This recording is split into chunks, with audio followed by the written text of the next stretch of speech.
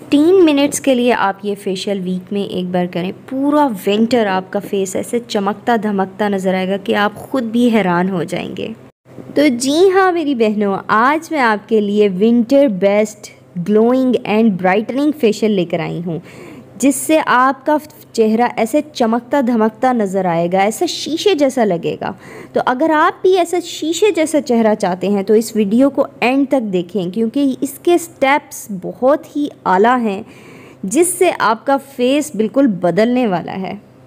तो चलें फेशियल बनाना स्टार्ट करते हैं। पहले वीडियो को लाइक लाजमी कर लें चैनल को लाजमी सब्सक्राइब कर लें बेल के आइकन को लाजमी प्रेस कर लें। तो हाँ जी तो फ़र्स्ट स्टेप है हमारा फेस क्लेंजिंग फेस क्लेंजिंग के लिए हम आज फ्रूट इस्तेमाल कर रहे हैं फ्रूट का पील जो कि हम घर में यूज़ करते हैं डेली और इसको फेंक देते हैं। लेकिन इसके इतने फ़ायदे हैं हमारी स्किन के लिए कि मैं आपको बता नहीं सकती।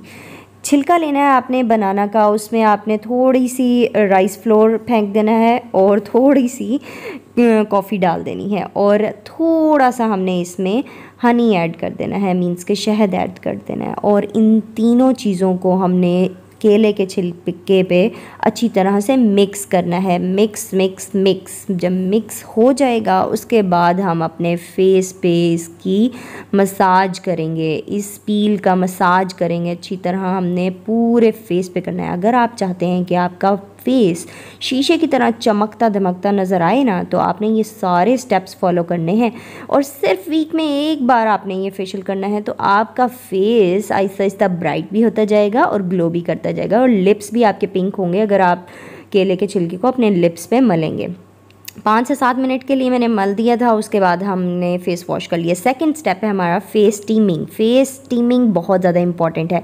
जितने भी कोरियन लोग आप देखते हैं ना, जिनकी ग्लास की तरह स्किन नज़र आ रही होती है, उनका सीक्रेट ही ये होता है कि वो अपने फेस को वीक में एक बार लाजमी स्टीमिंग देते हैं। तो यहाँ पर मैंने एक पतीले पर पानी गर्म करके अपने फेस पर स्टीमिंग ले ली और फेस को मैंने वॉश कर लिया। तो देख रहे हैं ना ग्लो कितना अच्छा है। स्टेप नंबर थ्री है जी हमारा फेस स्क्रबिंग फेस स्क्रबिंग के लिए मैंने यहाँ पे ब्राउन शुगर ली है। ब्राउन शुगर हर घर में मौजूद होती है और इसमें हमने थोड़ा सा शहद ऐड कर दिया है। विंटर में हमारी स्किन ड्राई हो जाती है और हम सोचते ही रहते हैं कि हम फेशियल करें या कुछ करें, लेकिन हम नहीं कर पाते। लेकिन ये फेशियल जो सा ये ऑल स्किन टाइप्स के लिए है। बहुत ही अच्छा फेशियल है। हमारी स्किन को इतना हाइड्रेट करेगा। ये जो स्क्रबिंग है ना, ये आप डेली भी कर सकते हैं। ये हमारी स्किन पे बहुत ज़्यादा नॉरिशमेंट देता है, बहुत हमारी स्किन को सॉफ्टन कर देता है, हमारी स्किन को एक ग्लो देता है, बहुत ही अच्छा। तो यहाँ पे मैंने पाँच से सात मिनट के लिए मसाज करना है सर्कुलर मोशन में। वीक में एक बार लाजमी मैं ये फेशियल करती हूँ, ताकि मेरी स्किन ऐसे ही खुशगवार ब्राइट ग्लोइंग बनी रहे। तो ये आप देख सकते हैं, अक्सर मेरे पिंपल निकल जाता है और यहाँ पे मेरे पिंपल निकला था लेकिन ये जो मैं फेशियल्स वगैरह करती हूँ, अपनी स्किन की केयर करती हूँ, इससे बिल्कुल निशान नहीं बनते और फ़ौरन ख़त्म हो जाता है। हाँ जी तो अब बारी आती है हमारे स्टेप नंबर फोर की, जो कि है फेस मसाजिंग क्रीम बहुत ही आला क्रीम है। इसके फ़ायदे मैं आपको बाद में बताती हूँ। पहले आप बनाना सीख लें कि कैसे बनानी है। रॉ मिल्क लिया है, कच्चा मिल्क भी ले सकते हैं बॉयल्ड मिल्क भी ले सकते हैं। थोड़ा सा बॉइल्ड मिल्क लेना है। उसमें हमने इसमें आटा ऐड कर दिया। आटा भी हर घर में मौजूद होता है। डेली रोटियाँ बनती हैं, खाना खाते हैं। तो यहाँ पर मैंने वन टेबल स्पून आटा डाल दिया और वन टेबल स्पून मैंने राइस फ्लोर डाल दिया। मीन्स के चावलों का आटा भी इसमें डालना है। दोनों को अच्छी तरह से मिक्स कर दिया। आँच मैंने पहले हल्की रखी थी। अब मैंने बिल्कुल बंद कर दी ताकि ये बिल्कुल बहुत ज़्यादा थिक ना हो जाए। अब हमने साथ ही साथ इसी स्टेप के लिए हमने बनाना को मैश करना है, जो कि हमारा थोड़ा सा बचा हुआ था, उसी बनाना को हमने मैश कर दिया। थोड़ा सा बनाना मैंने लिया और अब हम इसको बोल में डाल देंगे। बनाना जो सा है, हमारी स्किन पे एक एक्स्ट्रा ग्लो लेकर आता है, हमारी स्किन को आहिस्ता आहिस्ता टोन इसकी चेंज करता जाता है। और वो जो हमारा मिल्क वाला मटेरियल था, वो हमने इसमें मिक्स कर दिया और ये क्रीम बन गई हमारी मसाजिंग क्रीम तो ये क्रीम आपने अपने पूरे फेस पे लगानी है, लेकिन लगाने का तरीका जो होता है ना फेस मसाजिंग क्रीम का, वो थोड़ा सा डिफरेंट होता है। आपने अपने पूरे फेस पे लगानी होती है। एंड साथ साथ मैं आपको ये लाजमी बताती जाऊँ कि जिन लोगों को कोई प्रॉब्लम है, कोई स्किन के इश्यूज़ हो रहे हैं, या जब भी मैं आपको वीडियो अपलोड करती हूँ ना, उसके दो तीन घंटे तो मैं मुसलसल हर किसी को कमेंट करती हूँ, हर किसी को रिप्लाई करती हूँ। तो आपने जब भी कोई क्वेश्चन करना है मुझसे, आप बिला झिझक मुझसे कर सकते हैं, कभी भी कमेंट कर सकते हैं और इस फेशियल को आपने लाजमी करना है और कमेंट में मुझे सबने बताना है किसने किया है और किसने नहीं किया। तो फेस को आपने जब भी फेस मसाजिंग यूज़ करते हैं अपने फेस पे तो उसकी प्रॉपरली जो हमारी मिडल की टू फिंगर्स होती हैं ना, उसके साथ मसाज करते हैं और उस मसाजिंग से आपके फेस पे बहुत ज़्यादा फ़र्क नज़र आता है। तो अब हमारा आता है step number five step number five है फेस पैक ये जो फेस पैक है ना, ये थोड़ा डिफरेंट है। इसको हमने लगाने का तरीका और उतारने का तरीका डिफरेंट है तो वो आपने एंड तक लाजमी देखना है कि किस तरह से हम बनाते हैं। तो यहाँ पे मैंने मुल्तानी मिट्टी वन टेबल स्पून लिया one tablespoon gram flour लिया और थोड़ा सा इसमें मिल्क ऐड कर दिया और इस तरह से मैंने इसका पेस्ट बना दिया और ये पेस्ट अपने पूरे फेस पे मैं लगा रही हूँ।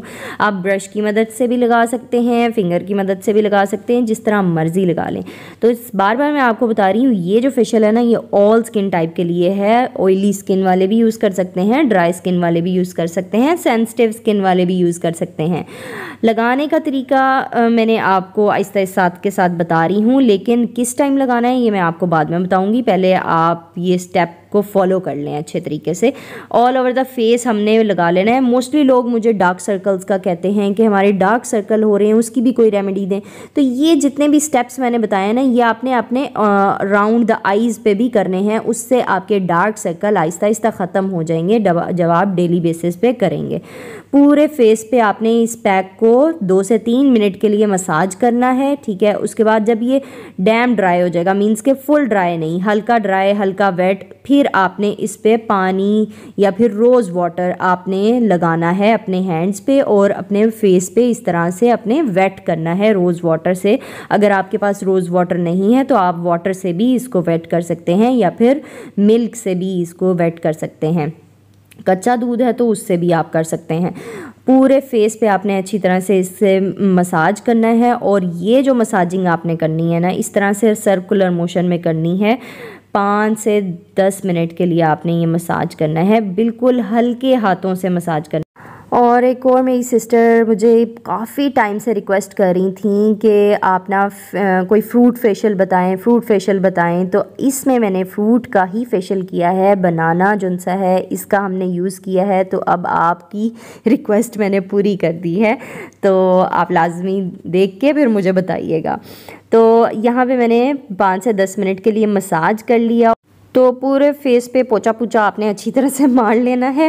एंड उसके बाद ये जो फेशियल मैंने आपको बताया है, ये आपने फेशियल रात के टाइम करना है।